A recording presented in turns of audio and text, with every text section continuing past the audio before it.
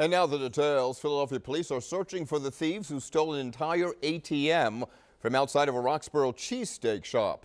They used a chain to rip it out and a truck to haul it away. And this is not the first time that something like this has happened, actually. Action News reporter Maggie Kent live in Roxborough tonight with those details. Maggie.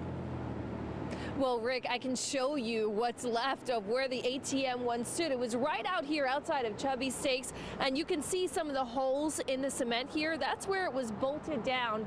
But of course, it was no match for that heavy duty chain and the U-Haul truck that the thieves used.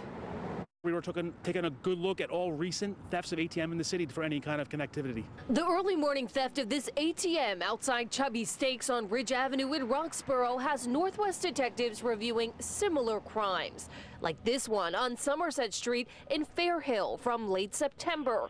Thieves under the same MO using a U-Haul and a chain to rip an ATM from a store vestibule.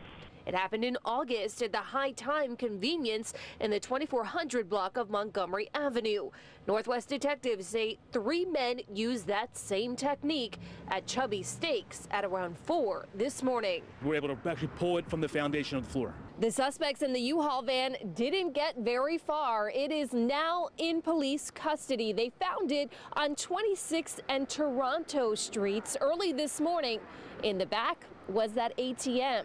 The thieves never broke into it. Hopefully they, they figure out who it was, but that's that's scary that that people just don't care. In the summer of 2020, Chubby Steaks lost an ATM to attempted thieves who used an explosive to try and break it open.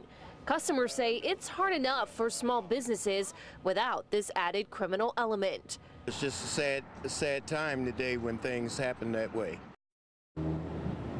Now, because police were able to recover that ATM still intact, I'm told by detectives after they process it, uh, Chubby's is able to take it back if they'd like to, but employees say they're not so sure about the placement out here again after two ATMs have been targeted here.